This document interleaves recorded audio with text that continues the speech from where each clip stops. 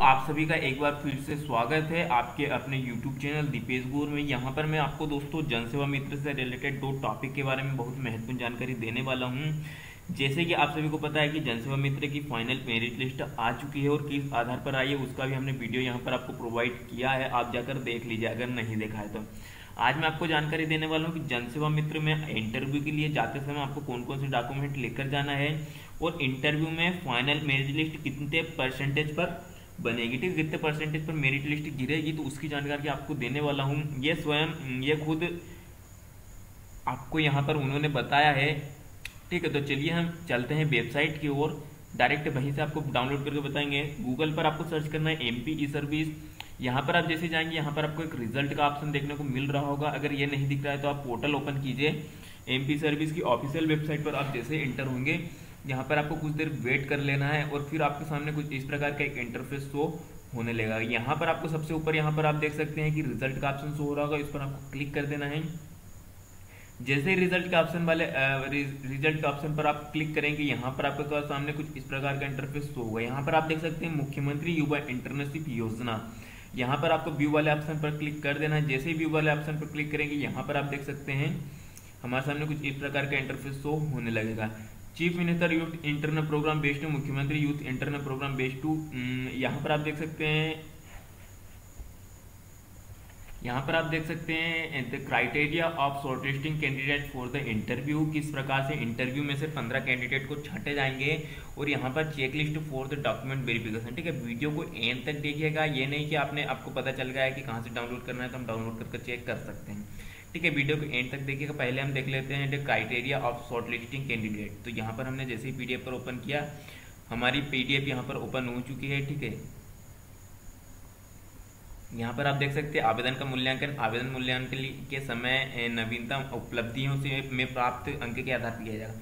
मान लीजिए आपका यूजी 2021 में कंप्लीट है पीजी 2023 यूजी एक 2021 और पीजी 2023 में कंप्लीट है तो आपका पीजी से यहाँ पर गिनती शुरू होगी। तो यहाँ पर स्नातक स्नातक, अगर आपके 50 परसेंट से लेकर उनसाठ परसेंट हैं तो आपको 24 अंक मिलेंगे, और अगर साठ से लेकर उनसाठ तक हैं, उनसत्तर तक हैं तो आपको फोर्टी अंक मिलेंगे सत्तर से उन्यासी तक है तो छप्पन अंक मिलेंगे, अस्सी प्रतिशत के ऊपर है तो आपको अस्सी नंबर दिए जाएँगे। ठीक है, ये स्नातक का है, और स्नातकोत्तर का भी सेम यहाँ पर आपको देखने को मिल जाएगा, पचास से उनसाठ, तीस, और यहाँ पर साठ से उनसत्तर, पचास सत्तर से उन्यासी, सत्तर, अस्सी से ऊपर वाले को सौ अंक दिए जाएँगे। प्राप्त अंक का तीस प्रतिशत अंतिम सूची हेतु उपयोग किया जाएगा। ठीक है, जो भी अंक आपको यहाँ पर प्राप्त होंगे, उसका आपको तीस परसेंट यहाँ पर आपको दिया जाएगा। साक्षात्कार हेतु प्रत्येक पद के लिए तीन आवेदकों को आमंत्रित किया जाएगा। ठीक है मतलब एक पद के लिए तीन लोगों को चुना जाएगा।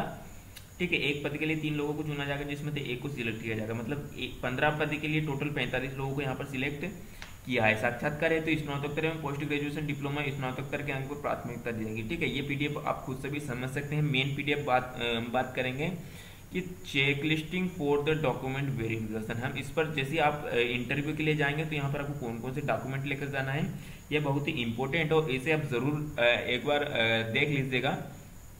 कि Aadhaar card, PAN card, driving licence, voter ID, original and photocopy लेकर जानी। या तो आधार कार्ड या पैन कार्ड या ड्राइविंग लाइसेंस या वोटर आईडी, एनी वन, इसमें से एक कोई चीज़ भी लेकर जाना है तो आधार कार्ड सबसे बेस्ट रहेगा तो वही लेकर जाना है। Photo copy of the application, जो आपने एप्लीकेशन फॉर्म भरा था, उसकी अगर आपके पास फ़ोटो कॉपी, अगर आपके पास प्रिंट है तो उसकी फ़ोटो कॉपी निकला कर ले जाइए।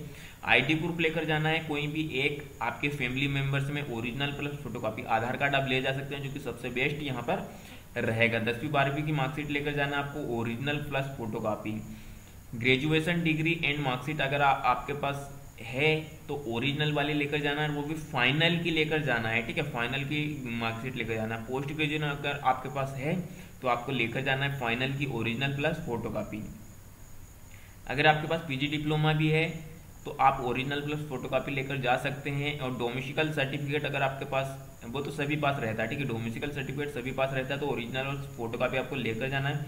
मतलब यहाँ पर टोटल ग्यारह डॉक्यूमेंट है तो सभी के अगर आपके पास आपके पास जो जो उपलब्ध हैं, वो आपको सभी को ओरिजिनल प्लस फोटोकॉपी लेकर जाना है। दो पासपोर्ट साइज़ फ़ोटो आपको लेकर जाना है, जिसमें नाम आपका लिखा होना चाहिए ब्लू से, ठीक है? ब्लू कलर से आपका नाम लिखा होना चाहिए। फ़ोटो में, ठीक है? और पासबुक, आपको जो बैंक अकाउंट की पासबुक है, आपको ओरिजिनल प्लस फ़ोटो का भी आपका लेकर जाना है। और अगर आपके पास N S N S S या एनसीसी का सर्टिफिकेट है तो वो भी लेकर जाना। ठीक है दोस्तों, ये वीडियो अधिक से अधिक शेयर कीजिए। जिनका नाम भी इंटरव्यू की मेरिट लिस्ट में आया है, वो जल्दी से ये डॉक्यूमेंट कलेक्ट कर कर, क्योंकि सत्रह तारीख से इंटरव्यू स्टार्ट है, आज बहुत से लोगों के पास यहाँ पर कॉल आ चुका है। ठीक है, सोमवार से इंटरव्यू स्टार्ट है और बहुत से लोगों के पास आज कल आज काल आ चुका है हो सकता है कि कल संडे फिर भी कॉल आ सकता है, ठीक है? तो आप वेट करिए, बस कॉल का इंतज़ार करिए, ऐसा ना हो कि आप कॉल आपके पास आए और आप रिसीव ना कर पाओ, ठीक है? ऐसे में बहुत आपको समस्या आपको ही होने वाली है, इसलिए थोड़ा आप संभल कर रहिएगा। जैसे ही कोई भी फ़ोन मिस मत करिए, सभी फ़ोन को अटेंड करिएगा। तो दोस्तों, ऐसे ही मिलेंगे नई अपडेट नई जानकारी नई इन्फॉर्मेशन के साथ। वीडियो को अभी तक लाइक नहीं किया है तो प्लीज़ आप सभी से रिक्वेस्ट है, वीडियो को लाइक कर दीजिए। चैनल पर नए तो चैनल को सब्सक्राइब कर दीजिए, ताकि आपको आने वाली नोटिफिकेशन जो आपको वीडियो में जानकारी दें, वो आपको मिल सके। धन्यवाद।